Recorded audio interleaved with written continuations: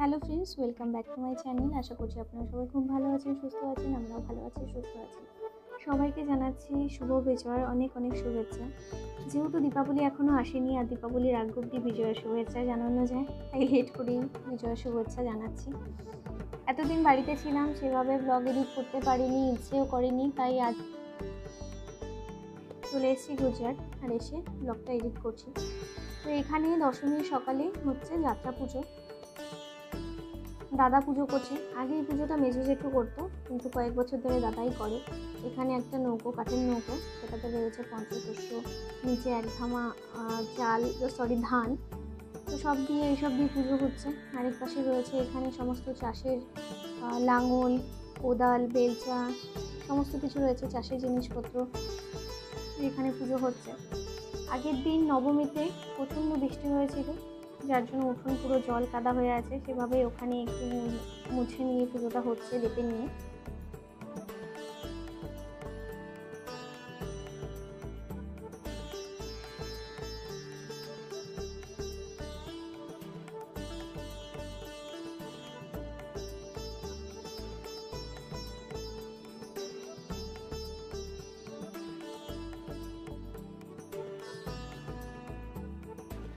পুজো করতে করতে খেয়াল হয়েছে, একটা জিনিস দেওয়াই হয়নি, সেটা হচ্ছে ছাম গাইন। এখনও আমাদের বাড়িতে এই ছাম গাইন রয়েছে। আগে তো প্রচুর ব্যবহার হতো, এখন যেহেতু সবার ঘরে ঘরে মিক্সার রয়েছে, তাই আর এটা ব্যবহার করা হয় না। কিন্তু দশমীতে এটা পুজোও করা হয়, আর দশমীতে নারকোল জিরে খাওয়া হয় আমাদের বাড়িতে, এটা দেখি দেখে আসছি সেই ছোটো থেকে। তো তার জন্য এই ছাম গাইনটা ব্যবহার করা হয়। যদিও এখন ভেঙেই গেছে আগে যাত্রা পুজো হয়ে গেলে উঠোনের মাঝেই জেঠু গরু দিয়ে একটু লাঙ্গল টানাতো। তো এখন আর সেভাবে লাঙ্গল টানানো মানে এগুলো তো চল উঠে গেছে, তাই আর উঠোনের মাঝে ওই লাঙ্গল টানানো হয় না। কিন্তু জেঠু এখানে একটা বাছুর নিয়ে এসছে। আর এখানে জল দিয়ে বাছুরের পা ধোয়ানো হচ্ছে, এরপর বাছুরের পুজো হবে। মিলি বেজায় খুশি। ও সারাক্ষণ এই গরু, ছাগল, ভেড়া, মুরগি এসব নিয়ে থাকতে খুব ভালোবাসে। সারাদিন এই জেঠুর পেছনে ঘুরবে, মেজো জেঠুর পেছনে গরু, ছাগল, মুরগি এসব দেখানোর জন্য। তো এখানে দাদার পুজো করা হয়ে গেছে, এবারে একে একে সবাই পুজো করে নিচ্ছে। আমি যাইনি কারণ সকালবেলা উঠে আমার স্নান করা হয়নি, আমি ঘুম থেকে উঠেই চলে এসেছি এখানে। তো বম্মা, মা, ওরা সবাই এবার ফুল, বেলপাতা দিয়ে একটু ধূপধুনো দেখেই পুজো করে নিচ্ছে। আর ওখানে রাখা আছে হ্যারিকেন আর কেরোসিন তেল। যাত্রা পুজো হয়ে যাওয়ার পরে এই হ্যারিকেনটা জ্বালিয়ে সারা রাত ঠাকুর ঘরে রেখে দেওয়া হয়। এখন আর ব্যবহার করা হয় না, তো তাই হ্যারিকেনটারও এই অবস্থা।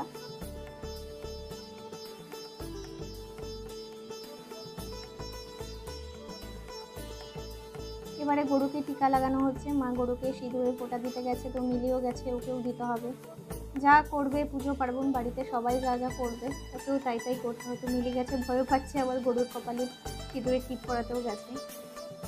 এবারে দাদা ফুল বেলপাতা দিয়ে গরুকে পুজো করে নিচ্ছে।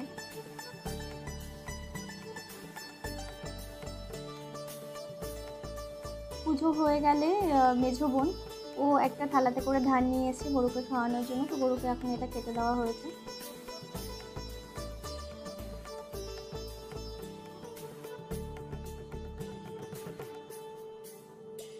দশমীতে যেটা আমাদের খাওয়া হয় সেটা হচ্ছে নারকোল চিড়ে। মুড়ি, চিড়ে এগুলো গুঁড়ো করে না, তার সাথে নারকোল গোড়া, গুড় মিশিয়ে নারকল চিড়ে বানানো হয়। তো মা এখানে নারকল চিড়ে বানাচ্ছে আর আমরা সবাই এই বারান্দাতে বসেই গল্প করছিলাম। পুজো হয়ে গেছে। এবার বোন সবাইকে প্রসাদ দিয়ে দিচ্ছে। দশমীর যে মানে যাত্রা পুজোর প্রসাদ, নারকোল জল, তারপরে ফলমূল এগুলো দিচ্ছে। এটা হচ্ছে আমার এক ভাস্তা। সেই ছোট্ট ছিল, এখন এত বড় হয়ে গেছে, আমাকে ছাড়িয়ে গেছে লম্বাতে। বড় হয়ে গেছে, দেখতে দেখতে সব বড় হয়ে যায়। মার ওদিকে নারকোল কোড়ানো হয়ে গেছে, আর এইদিকে ছোটো বম্মা নারকোল চিড়ে বানাচ্ছে। মুড়ি আর চিড়েটা দাদা ঘর থেকে গুঁড়ো করে দিয়েছে মিক্সারে। তো বম্মা এখন ওই ছাম গায়ে নিয়ে সব কিছু মিশিয়ে নিচ্ছে। তো এখানে নারকুল সরি নারকুল না, মুড়ি আর চিড়ে গুঁড়ো দেওয়া হয়ে গেছে। এবারে বম্মা গুড় দিয়ে একটু হাত দিয়ে মেখে নিচ্ছে, কারণ গুড়গুলো বেশ মোটা মোটাই টুকরো ছিল। তো অনেকটা টাইম লাগবে, যার জন্য বম্মা একটু হাত দিয়ে ভেঙে ভেঙে একটু হাত দিয়ে মিশিয়ে নিয়ে তারপর ওই শ্যাম গায়নের মধ্যে মেশাচ্ছে।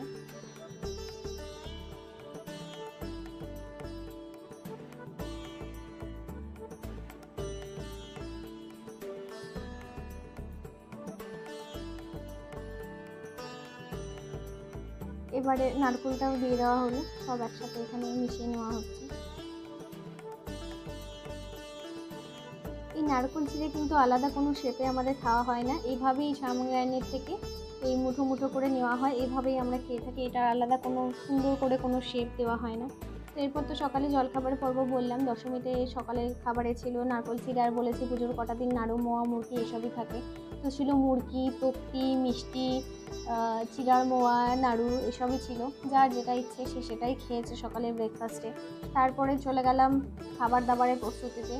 বম্মা মা ওরা সবাই মিলে রান্নাবাটি রান্না বাটি বলছি সরি রান্না বান্না করছিল। আর আমি এখানে বসে গেছি লাউ কাটতে। আমি এখানে লাউ কাটছি আর দাদা ওপাশে আলু পেঁয়াজ রসুন এগুলো ছুলছিল।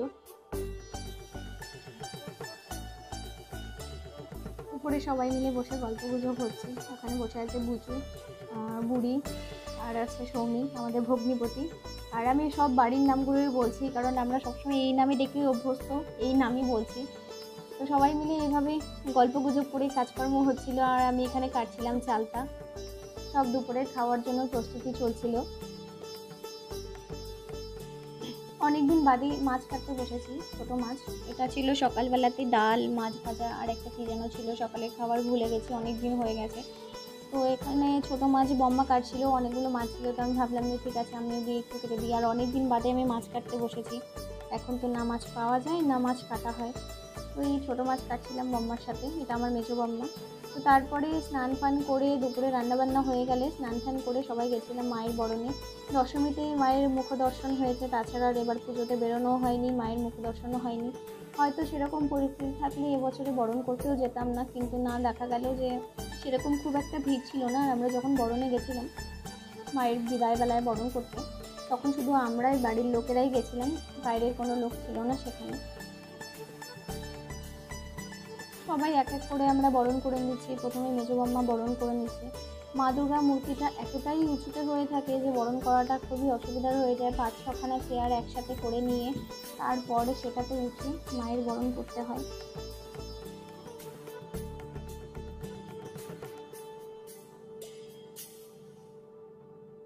বর্মার পরে এখানে আমি বরণ করে নিচ্ছি।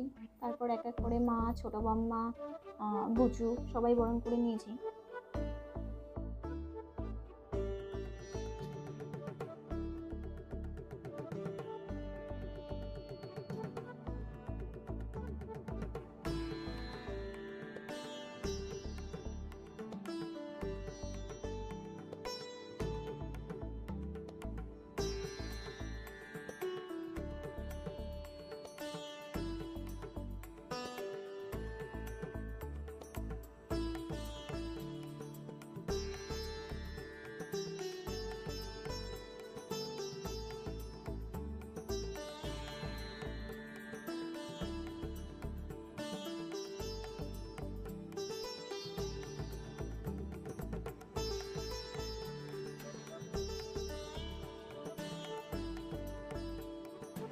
মায়ের বরণ শেষে এবারে সিঁদুর খেলা যদিও এবার শুধু আমরা বাড়ির লোকেরাই, পাড়ার কেউই ছিল না। অন্যান্য বার সবাই মিলে সাথে যে সিঁদুর খেলার আনন্দটা হয়, এবার শুধু আমরা নিজেদের মধ্যেই সেটা সীমাবদ্ধ ছিল।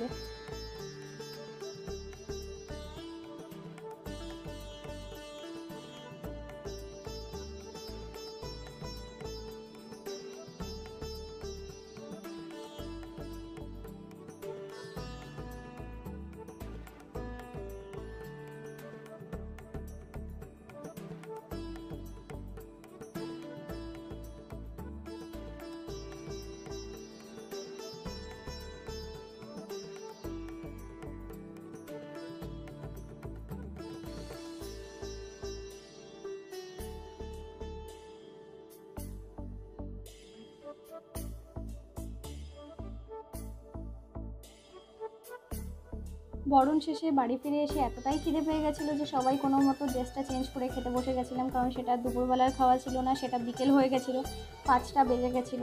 আর দশমীতে মেনু ছিল মাটন খাসির তেলের বড়া ডাল, চালতার চাটনি, দই, আর একটা কী ছিল ভুলে গেছি, ইলিশ মাছের মাথা দিয়ে লাউ ঘন্ট আর কি ছিল মনে পড়ছে না এখন আর এই মুহূর্তে। তো এখানে সবাই খেতে বসে গেছি, মেজদা, বাবা, ভাস্তা, আমরা তিন বোন এখানে ছোটো জেঠু। আমরা আগে খেয়ে নিয়েছি, তারপর মা ওদের পালা। এখন খেতে বসে গেছে দাদা। দাদা একটু লেটেই খেয়েছে, কারণ আমরা যখন খাচ্ছিলাম, দাদা মিলিকে খাওয়াচ্ছিল। মা, বৌদি, ছোট বম্মা, মেজো বম্মা, আমাদের পরে ওরা খাচ্ছে আর আমি পরিবেশন করছিলাম। তো খেতে খেতেই দাদা আর বৌদি চলে এসেছে মানে বর্দা। বর্দা আর বৌমনি চলে এসেছে। খাওয়া দাওয়ার পরে আবার সেই বৌমনির সাথে একটু সিঁদুর খেলা হয়েছে। দশমীর দিনকে ছিল বুড়ির বার্থডে। তো ও আর আমি সাত দিনে ছোট বড়, তো এখানে হচ্ছে জন্মদিন উদযাপন। পুরো দিনটা দশমীটা ভীষণ মজা করে কাটিয়েছি। শুধু দশমী না, বাড়িতে যে কদিন ছিলাম ভীষণ আনন্দের সাথে কাটিয়েছি, খুব মজা করে কাটিয়েছি। জানি না আবার কবে বাড়িতে যাব, আবার সবার সাথে দেখা হবে। এই মুহূর্তগুলো, এই দিনগুলো ভীষণভাবে মিস করি, যেহেতু একা থাকতে হয় আনন্দ হই হুল্লোড়। সবাই মিলে থাকার একটা যে আনন্দ, সবার একসাথে যে আনন্দ, সেটা খুব মিস করছি। এটা হচ্ছে আমার বৌমনি, এ হচ্ছে বর্দা এই হচ্ছে বৌদি। আগেই পরিচয় করালাম মেটু জেঠু ছোটো বম্মা। সেভাবে আর কারোর সাথেই পরিচয় করানো হয়নি, কারণ ওই সবার মধ্যে থেকে গল্প গুজব আনন্দ হই হুল্লোড় করেই সময় কেটে যাচ্ছিল। তার মধ্যে থেকে এক্সট্রা করে মোবাইল নিয়ে ওইভাবে ব্লগ করতে আর ইচ্ছে করছিল না, যার জন্য সেভাবে বাড়িতে গিয়ে আর ব্লগ করতে পারিনি। তো এই ছিল আমার দশমীর খুব সাধারণ একটা ব্লগ এবারে পুজোতে এভাবেই কেটে গেল। আসছে বছর আবার হবে। আর আশা রাখছি আসছে বছর খুব ভালোভাবেই দুর্গোৎসব পালন হবে। তো আজকের মতো, টাটা।